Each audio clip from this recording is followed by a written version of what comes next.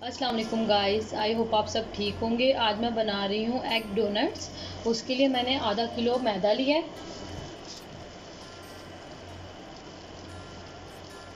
One table spoon मैं इसमें east डाल रही हूँ।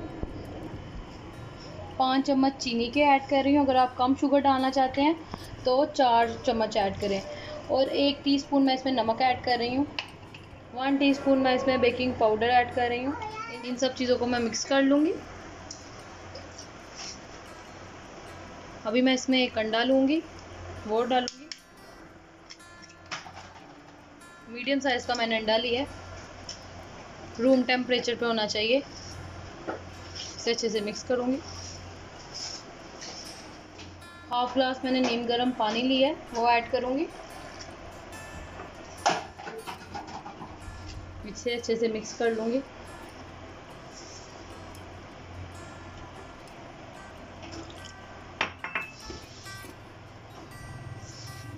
टेबल स्पून मैं इसमें घी के ऐड करूँगी। इसे अच्छे से मिक्स कर लूँगी।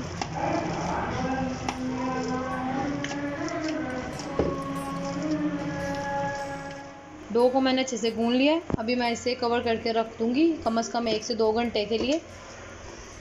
कोई भी बक्स ले ले, उसको इस तरह कर दे।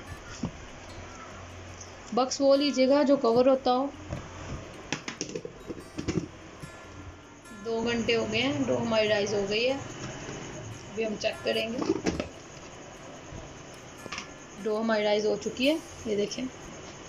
अभी मैं इसका एक पेड़ा बना लूँगी। इतनी सॉफ्ट ही डो गूंदनी है अभी मैं मैदा रेस्ट कर लूँगी।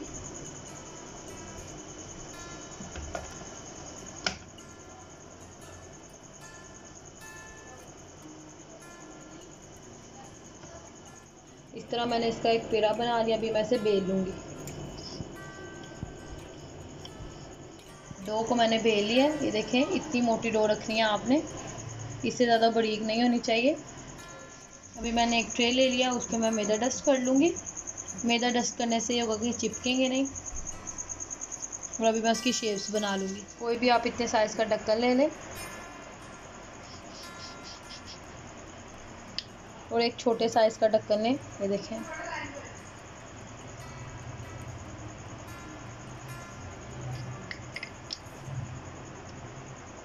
इसी तरह मैं अपने सारे डोनट्स तैयार कर लूँगी। ये देखें, इस तरह हम पेड़ा उठा लेंगे और जो मैदा बच जाएगा उसका फिर से पेड़ा बनाएँगे और इसी तरह की उसकी फिर से शेप्स बना लेंगे। डोनट्स की शेप हमारी तैयार हो गई है, अभी मैं इसे फ्राई कर लूँगी ऑयल ले लूँगी और उसको गर्म कर लूँगी। अभी हम मैदे का एक टुकड़ा डालेंगे। ऑयल गर्म हो गया कि नहीं ये चेक करने के लिए। तो ऑयल हमारा हल्का गर्म हो गया। अभी हम इसमें डोनट्स डालेंगे।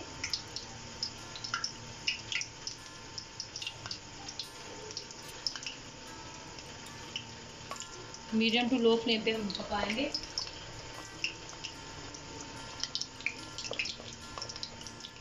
पाँच मिनट तक हम इसे पकाएँगे। तो देखिए अभी हम साइड चेंज कर रहे हैं।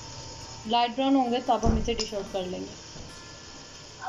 डोनट्स हमारे लाइट ब्राउन हो गए हैं, अभी मैं इसे डिश आउट कर लूँगी। और इसी तरह बाकी के सारे डोनट्स तैयार कर लूँगी।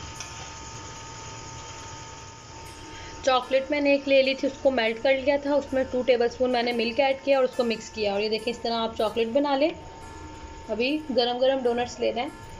उसको इस पर डिप करेंगे अच्छे से। ये देखें, इसी तरह मैं सारे डोनट्स तैयार कर लूँगी।